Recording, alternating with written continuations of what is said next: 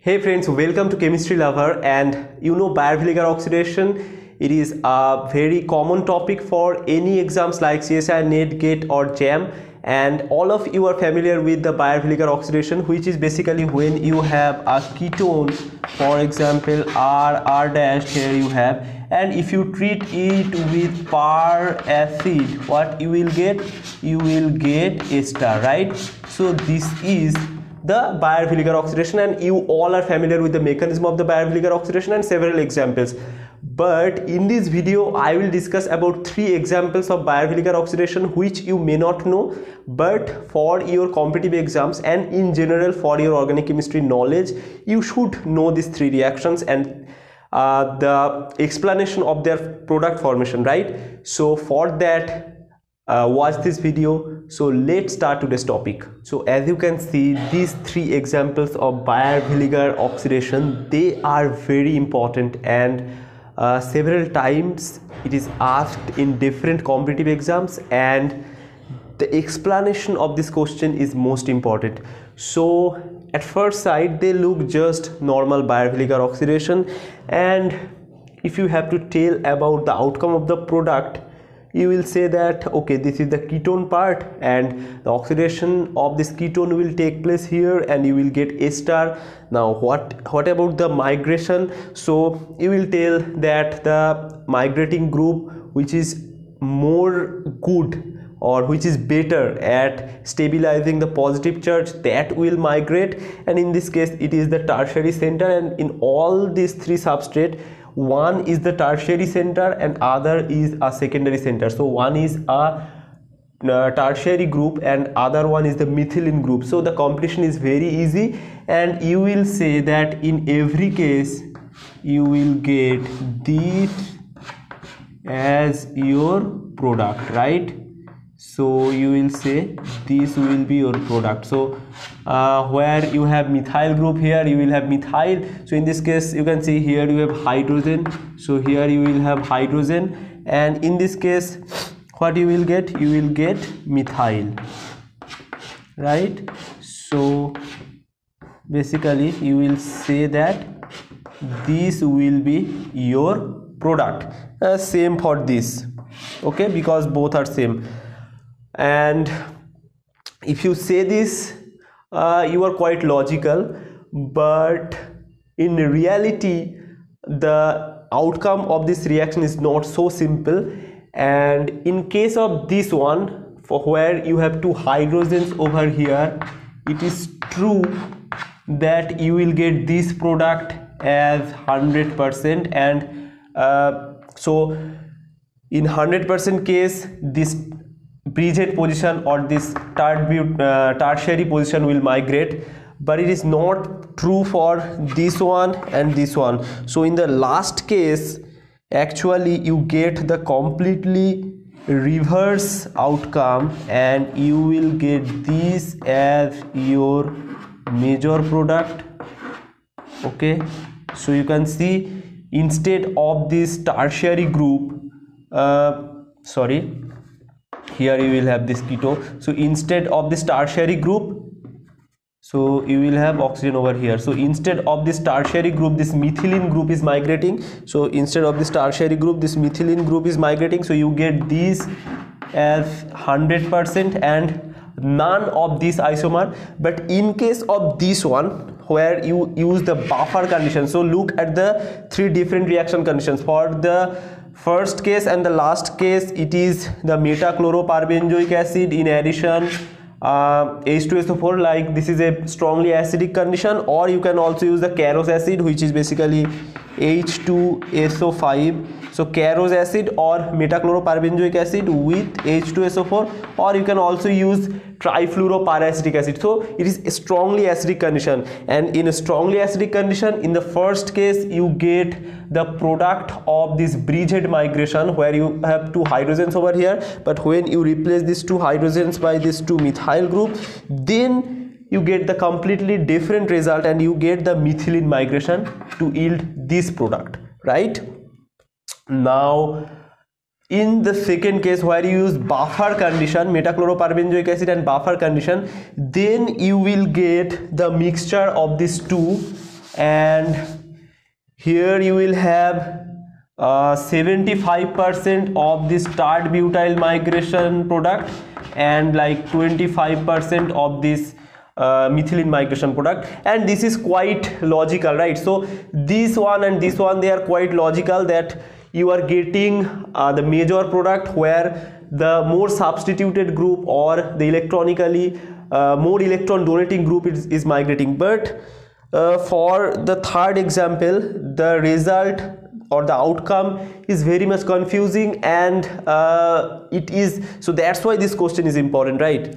Now for your competitive exam purpose it is all right if you know these three outcome. Uh, you don't need to need uh, know the explanation.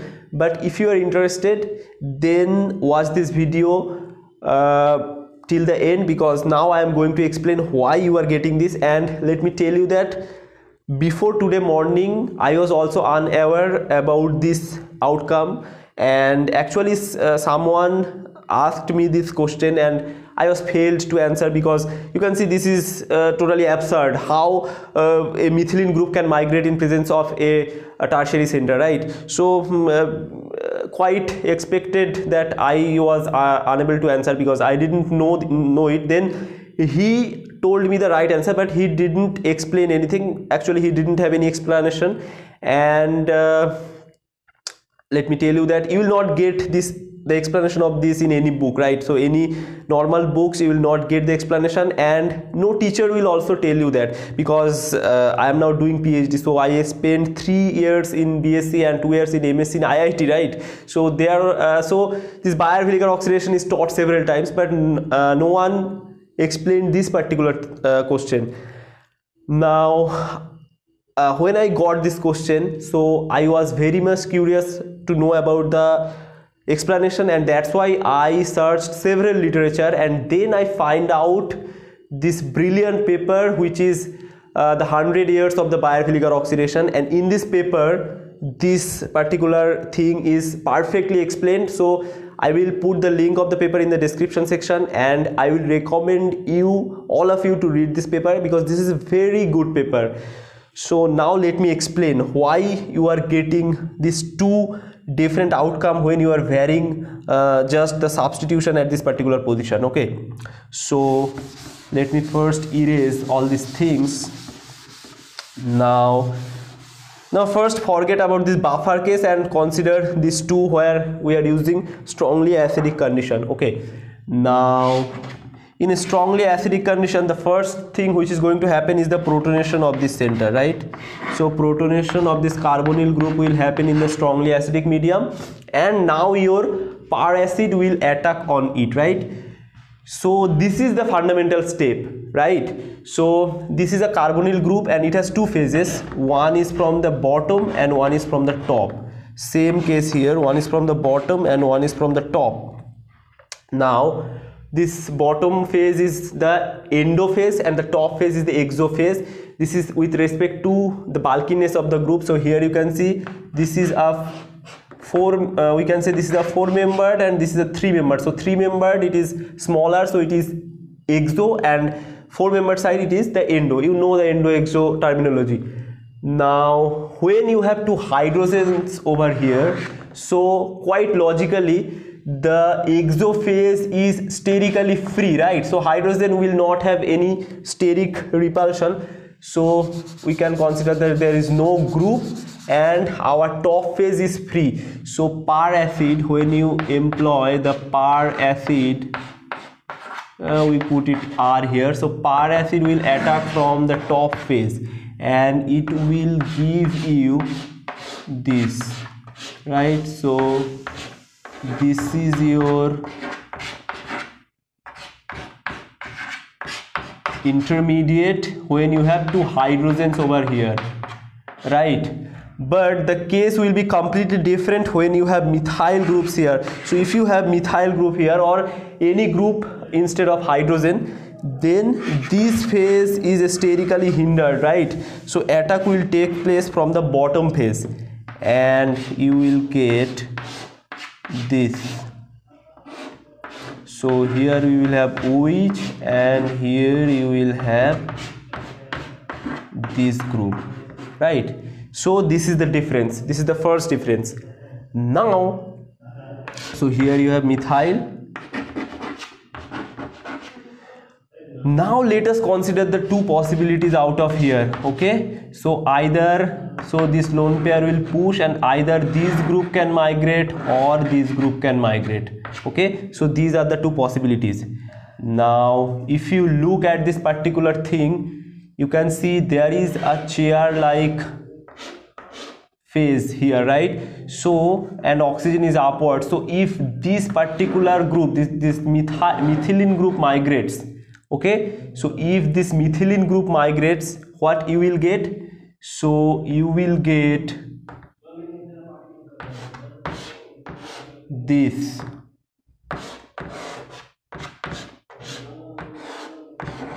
Okay?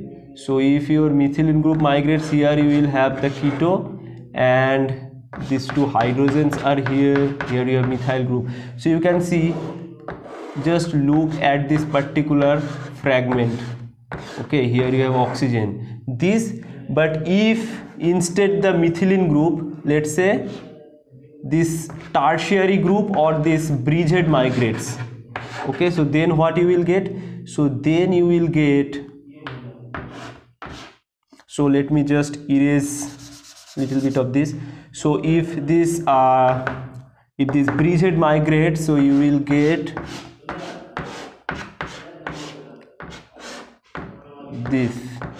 Okay? So uh, now you can see this is your oxygen and this is your keto. So this. Now if you look at this particular fragment so here you have two hydrogens here you have the methyl so now look at this fragment.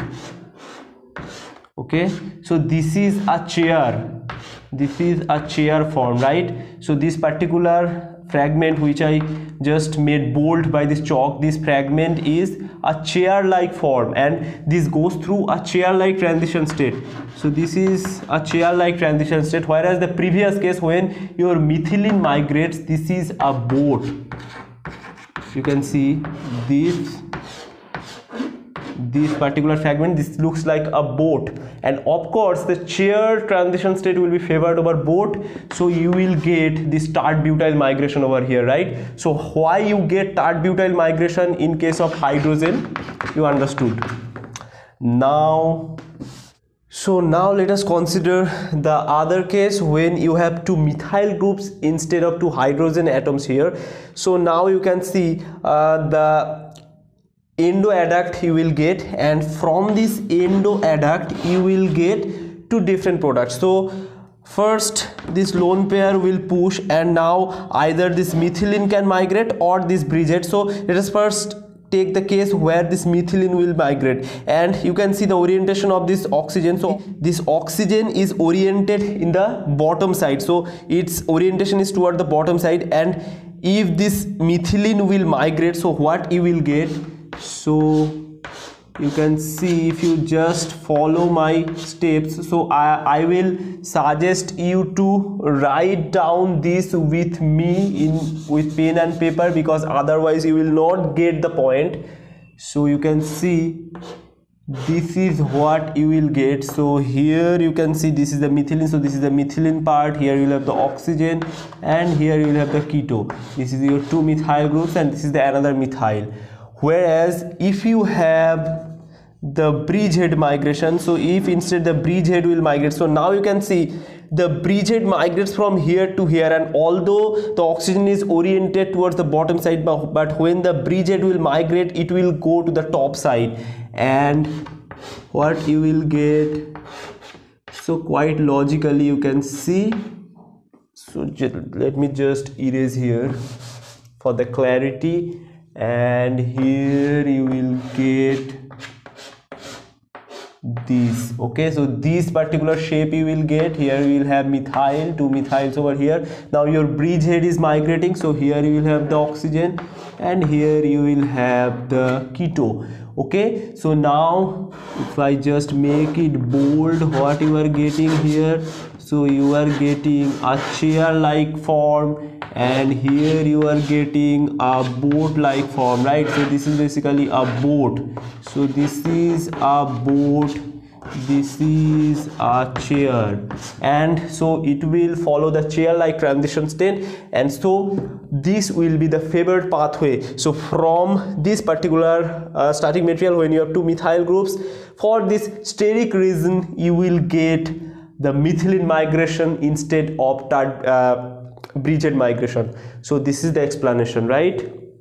So okay. So you understood why in case of these two you get two different products. Now the, your question will be why we got 75 is to 25 mixture in case of this buffer solution right?